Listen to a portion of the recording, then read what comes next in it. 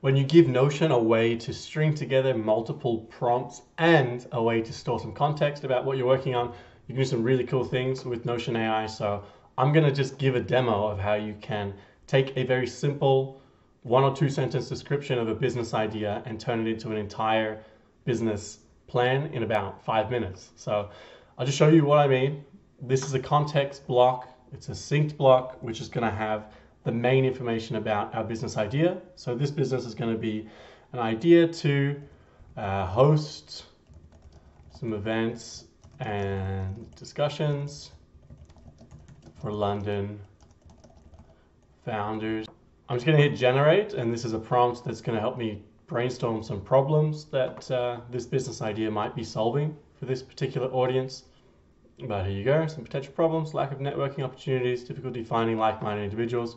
That's all fine. I'm probably not going to like uh, do a detailed edit or proofread of all of these things. I'm just going to show you how you can fly through and get a pretty fleshed out business plan based on this single prompt. So potential customers, founders and solo business owners, entrepreneurs, individuals, freelancers, students, or recent graduates interested in entrepreneurship. Sounds pretty good.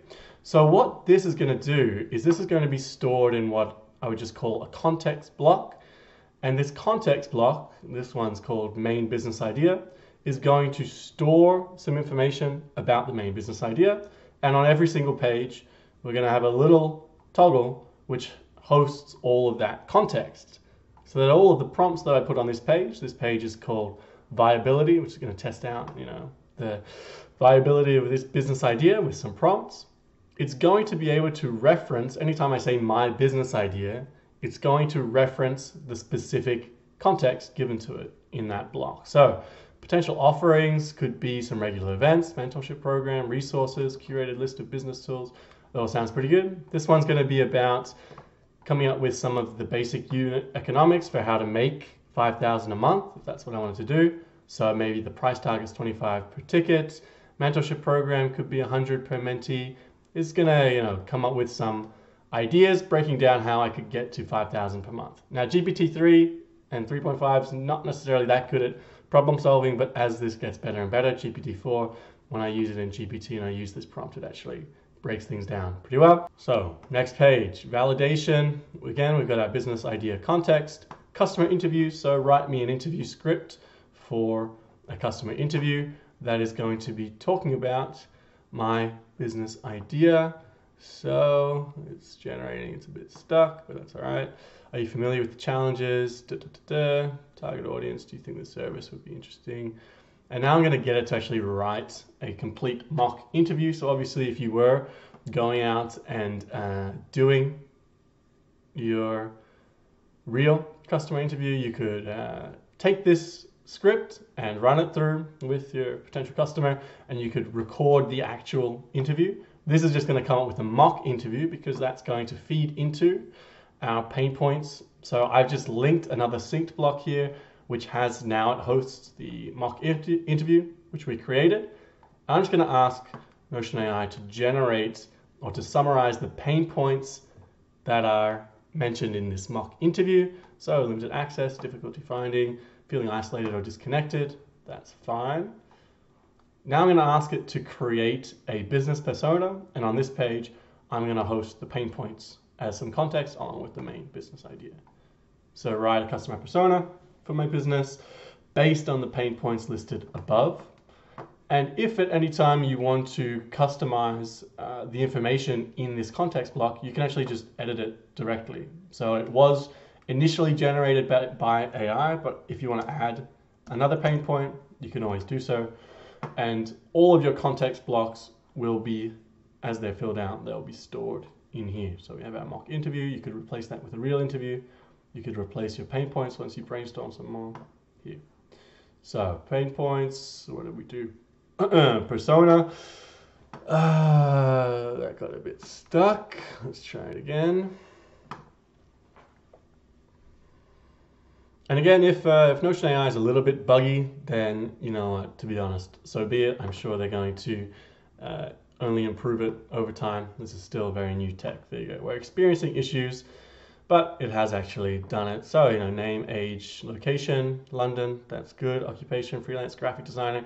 this makes sense for our business. This might be someone who we actually wanted to target with our little meetups, founder meetups in London. Pain points, goals, motivations. Cool. Market size, GPT-3 is not going to be that good at this, but GPT-4, and if you uh, can imagine kind of some of these plugins that access the web directly in future, this is going to be able to pull in real information about your market. This is actually taking some old information from uh, Center for Entrepreneurs. Who knows if that's real? But there are actually about 1.2 million small businesses in London, so that's you know that's uh, not a terrible estimate here. And we can also summarize this into a table. It's not a very interesting table. I should probably give it more columns, but there you go. It's kind of a high level summary. We have our market size, competitors. I'm going to ask it to generate 10 real competitors in a table. Uh, Meetup, Eventbrite. These aren't perhaps the most accurate. I might want to give it a little bit more context, like small meeting groups, Founders Network, that sounds correct. We can always check these links to see if they are real companies or if uh, GPT is, or the AI is hallucinating. But there you go. We have a quick list of competitors, SWOT analysis. I'm going to pull in that competitors table context here and I'm going to ask it to generate a SWOT analysis. Done. Let's see what it comes up with anyway. Detailed scope, it at least has the business idea context. Oh, the SWOT analysis is loaded now. Based on the SWOT, product features hosted, product provider platform, offer valuable resources. It's not that specific. You can always edit the prompt here um, if you want to get some more details, but we have an MVP, the contact's going to be here, and we're going to get a roadmap. I'm just specifying the date that it should start from, and it should be completed within two months. So you can see that quite quickly we've been able to just take a an idea for a business, brainstorm our way through what is not a bad high level overview of a business plan. Uh, we have some actionable items that we can work on. And I'll just go through quickly uh, a couple more things here in this particular um, tool, BizPrompter, which I'm just going to release uh, as one of our pro templates. Uh, maybe it'll be its own option as well. Uh, you can actually create and add more pages to your to your business plan, and there's a couple of prompts here that are uh, just going to help you do some more things as you're fleshing out your business plan. So, for example, uh, let's say this was our developing a content strategy based on, again, the same business uh, idea. So we have our business idea context. We can obviously add any of the context blocks that we want for this page as well.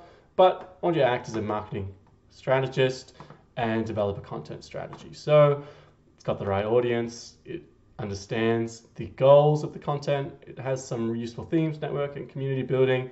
And again, it's just pulling this because every new page that you create is going to have within it this main business idea context.